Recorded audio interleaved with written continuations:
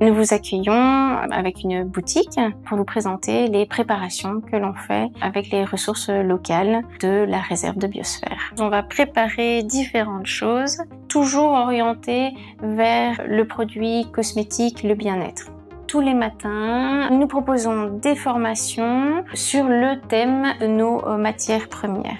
On découvre le monde végétal avec les plantes médicinales, le monde animal avec le miel et donc l'apiculture, la mer d'Iroise qui nous offre ses ressources d'algues marines.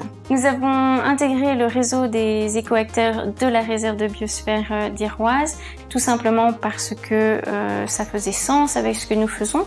Ce que nous pourrions améliorer, c'est de pouvoir sortir de l'enceinte de chez Louise, aller se promener sur les grèves, découvrir les, algues, découvrir les plantes du littoral.